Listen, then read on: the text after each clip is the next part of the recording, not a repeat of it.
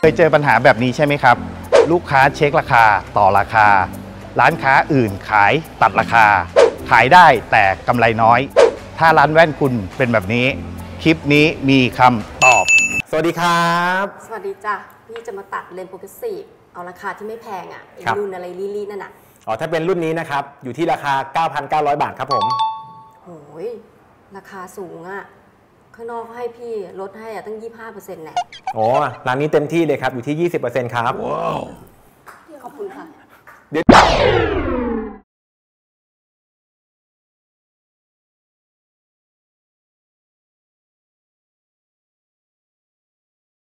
เดี๋ยวเดี๋ยวเดี๋ยวเดี๋ยวเดี๋ยวเดี๋ยวนะครับ เดี๋ยวนะครับใจเย็นนะครับ ถ้าคุณพี่นะครับ ไม่ติดเรื่องของแบรนด์นะครับ เรามีแบรนด์ทางเลือกนะครับ โครงสร้างเลนส์เทียบเท่ากันนะครับ แต่ราคาถูกกว่านะครับ อืมแบรนด์อะไรอะราคาเท่าไหร่จ๊ะ ชัดใสต้องดูแลเลนส์ถ้าเลือกเลนส์ให้เป็นเลือก Infinity นะครับดูแลเลนส์รุ่น Infinity ครับ เริ่มต้นเพียง 7,000 บาทเท่านั้นเองครับผม อืมอุ้ยราคาถูกกว่าครึ่งนึงเลยอะอุ๊ยครับ ถ้าราคาดีแบบเนี้ยเดี๋ยวพี่ตัดให้ลูกสาวพี่ด้วยอีกอันหนึงครับผมครับ ถ้ายังไงผมขอเป็นตาอันเก่านะครับ โอเคอะนี่ครับผมครับ แล้วเดี๋ยวเราไปวัดสายตากันด้านในหลังร้านนะครับโอเคได้จ้ะ ขอบคุณครับ สำหรับลูกค้าที่วัดค่าสายตา เพื่อตัดเลนส์โปรเกรสซีฟเหมือนคุณพี่ท่านเนี้ย เราจะเริ่มจากการวัดค่าสายตา ด้วยเครื่องในเด็ก RT 610จากประเทศญี่ปุ่น ใช้งานง่าย มีชาร์ตให้เลือกหลากหลาย เหมาะสมกับการวัดค่าสายตาและอย่างแม่นยำ เพื่อเป็นการทดสอบสายตาเสมือนจริง เราควรเลือก trial lens และ trial frame ที่มีความแม่นยำ เชื่อถือได้ สามารถปรับระยะ PD ให้เหมาะสมกับใบหน้าของลูกค้าได้พอดี เพื่อให้ได้แว่นตาที่มีประสิทธิภาพ ในการใช้งานได้จริง จากนั้น เราวัดค่าพารามิเตอร์ ด้วยเครื่อง IM2 ที่ทำให้เราสามารถวัดค่า progressive zone ทั้งค่า corridor ค่า inset ได้อย่างแม่นยำ เพื่อนำไปเลือกใช้เลนส์ progressive ได้อย่างถูกต้อง เพื่อค่าพารามิเตอร์ที่สำคัญในการตัดประกอบรูปแว่น ครับผมสายตาของคุณพี่เพิ่มขึ้นนะครับ ค่าสายตาของคุณพี่สองข้างก็ไม่เท่ากัน แบบนี้คุณพี่ต้องใช้เลนส์เฉพาะบุคคลแล้วล่ะครับ คืออะไรอะคะเลนส์เฉพาะบุคคล แล้วเลนส์ปกติใช้ไม่ได้อะคะแพงใช่ไหมเนี่ย งั้นเราไปฟังเหตุผลจากผู้เชี่ยวชาญนะครับ ว่าทำไมเราต้องใช้เลนส์เฉพาะบุคคลด้วยครับ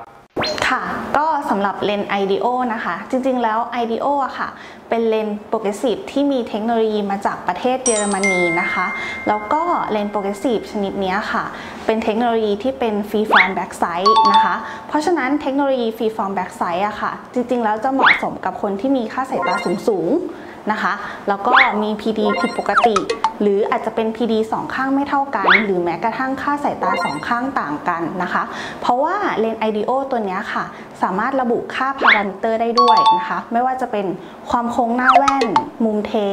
แล้วก็ระยะห่างระหว่างกระจกตากับเลนส์หรือสิ่งที่เราเรียกว่า CVD นะคะ และนอกจากนี้ยังสามารถระบุ inset ได้ด้วยค่ะ เพราะฉะนั้นเลนส์ชนิดเนี้ยค่ะ ก็เลยเป็นเลนส์เฉพาะบุคคลนะคะ ที่จะเหมาะสมกับแต่ละบุคคลนั้นๆ ค่ะอ๋ออ๋ออ๋อเข้าใจแล้วค่ะแล้วเลนส์เฉพาะบุคคลราคาเท่าไหร่คะครับ อยากชัดใสต้องดูแลเลนส์เลือกเลนส์ให้เป็นเลือก IDEO นะครับดูแลเลนส์ IDEO ราคาเริ่มต้นที่ 10,000 บาทเท่านั้นเองครับผมว้าวถึงสายตาจะสั้นแต่รักผมยาวนะครับครับสำหรับสายตาของคุณน้องนะครับ สั้นมากขึ้นเยอะเลยนะครับ ข้างขวาเนี่ยสั้น 500 นะครับ ส่วนข้างซ้ายเนี่ยสั้น 450 นะครับ ถือว่าเป็นสายตาที่สั้นมากมากขึ้นจากเดิมมากเลยครับ ใช่ค่ะแว่นเก่าหนูมันใส่แล้วไม่ชัดเลยค่ะ รู้สึกหนักมากด้วย ครับผมใช่ครับ เพราะว่าสายตาที่สั้นมากขึ้นนะครับ จะทำให้เลนส์เนี่ยน้ำหนักมากขึ้นนะครับ สามารถแก้ไขปัญหานี้ได้นะครับ โดยใช้เลนส์ย่อบาง น้องชอบแบบไหนล่ะครับ ชอบแบบเลนส์ออโต้ไหม หรือว่าใช้เลนส์ตัดแสงสีฟ้า เลนส์ตัดแสงสีฟ้าใส่แล้วมันสะท้อนเข้าตาค่ะ ใช่ใช่ใช่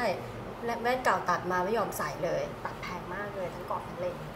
ครับผมปัญหานี้พบบ่อยนะครับสำหรับเลนส์ตัดแสงสีฟ้ารุ่นเก่า เพราะรุ่นใหม่เนี่ย coating สีเขียว ใส่แล้วถนอมสายตา ใส่สบาย ลืมไปเลยว่าใส่แว่นอยู่ แสงสีฟ้าทำไมไม่โคตรฟ้าล่ะคะเดี๋ยวผมจะสาธิตให้ดูนะครับ นี่คือเลนส์แว่นตาทั่วไปนะครับ นี่คือเลนส์แว่นตาบูล็อกนะครับ ตัดแสง UV ที่ 95%นะครับ มีความแตกต่างกันมากนะครับ โอ้โห เห็นแบบนี้นี่เข้าใจเลยค่ะ งั้นหนูเลือกเป็นเลนส์ตัดแสงรุ่นใหม่แล้วกันนะคะ ครับ ที่มีตัวนี้เลยครับเลนส์ Blue Block TOG นะครับ index 1.5 นะครับ ราคา 2,500 บาท แล้วก็ยังมีนี่นะครับเลนส์จากญี่ปุ่นนะครับ Tokai Lutina นะครับ aspheric 1.6 นะครับ ราคา 5,800 บาทนะครับ แต่สำหรับน้องเนี่ยนะครับ พี่แนะนำเป็น Tokai Lutina นะครับ เนื่องจากว่าค่าสายตาน้องอะสั้นเยอะมากแล้วนะครับ ไม่ต้องแพงนะน้อง พี่ว่าไม่น่าต่างกันเท่าไหร่ ครับ งั้นเราไปฟังผู้เชี่ยวชาญนะครับ ว่าเลนส์ aspheric กับเลนส์ spheric มีความแตกต่างกันยังไง แล้วก็ index 1.6 ช่วยอะไรได้บ้าง ไปครับ สำหรับเลนส์ที่ช่วยในการป้องกันแสงสีฟ้านะคะ ของเราก็จะมีตัว Blue Block แล้วก็ตัว Lutina นะคะ ที่เป็นเลนส์เทคโนโลยีใหม่นะคะ ซึ่งเลนส์ตัวนี้ค่ะ จะช่วยป้องกันแสงสีฟ้าได้ดีมากกว่าเดิมนะคะ โดยจะตัดแสงสีฟ้าที่เป็นอันตรายในช่วงที่เป็น UV ถึง 420 นาโนเมตรนะคะ เลนส์ตัวนี้สามารถตัดแสงสีฟ้าตรงนี้ได้ถึง 95%เลยนะคะ แล้วก็ตัวเลนส์นะคะจะมีความเหลืองน้อยกว่าเลนส์ Blue ตัวเก่านะคะแล้วก็ตัว coating สังเกตเห็นว่าจะเป็น coat สีเขียว ไม่ใช่เป็น coat สีฟ้าเหมือนเลนส์ Blue ที่เป็นเทคโนโลยีเก่าแล้วนะคะ สำหรับคนที่มีค่าสายตาไม่สูงนะคะ เราก็จะแนะนำเป็นตัว Blue Block นะคะ ซึ่งตัวนี้ค่ะจะเป็นตัวที่มี index 1.5 นะคะสำหรับอินเด็กซ์1.5 ค่ะ จริง ๆ แล้วเหมาะกับคนที่ค่าสายตาไม่สูงมาก แต่ถ้าใครมีปัญหาค่าสายตาสูงมากนะคะ ตรงนี้เราก็จะแนะนำเป็นตัวลูติน่านะคะลูติน่าเนี่ยเป็นตัวที่เรานำเข้ามาจากญี่ปุ่นนะคะ ตัวนี้จะใช้ชื่อในแบรนด์ของโตไกนะคะลูติน่าเนี่ยจริงๆ แล้วเป็นตัวที่เป็นอินเด็กซ์1.6 นะคะพอเป็นอินเด็กซ์1.6 ปุ๊บ ความต่างเนี่ยเราจะเห็นชัดเจนจากความบางเลยสำหรับคนที่มีค่าสายตาสูงสูงแล้วก็นอกจากนี้นะคะยังเป็นตัวที่เป็นโครงสร้าง aspheric ค่ะ ทีนี้ตัว aspheric ค่ะ มีประโยชน์ตรงที่ว่าทำให้เวลาเราใช้นะคะ เวลาเรามองภาพค่ะ เราจะเห็นภาพที่คมชัดขึ้นดูเสมือนจริงมากขึ้นนะคะ โอเคค่ะ เข้าใจแล้วเดี๋ยวก็เอา aspheric แล้วกัน ขอบคุณค่ะแม่ คุณพี่กับน้องยังไม่ได้เลือกกรอบแว่นตาใช่ไหมครับ ใช่ค่ะ แล้วพอจะมีแว่นทรงกลมๆบางๆ แนะนำบ้างไหมคะมีครับ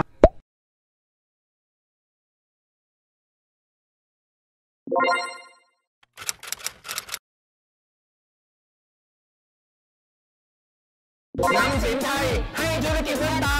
ง่ายสำหรับคุณ ง่ายสำหรับใคร ง่ายสำหรับคุณ ง่ายสำหรับใคร ง่ายสำหรับคุณง่าย สำหรับใครง่ายสำหรับคุณ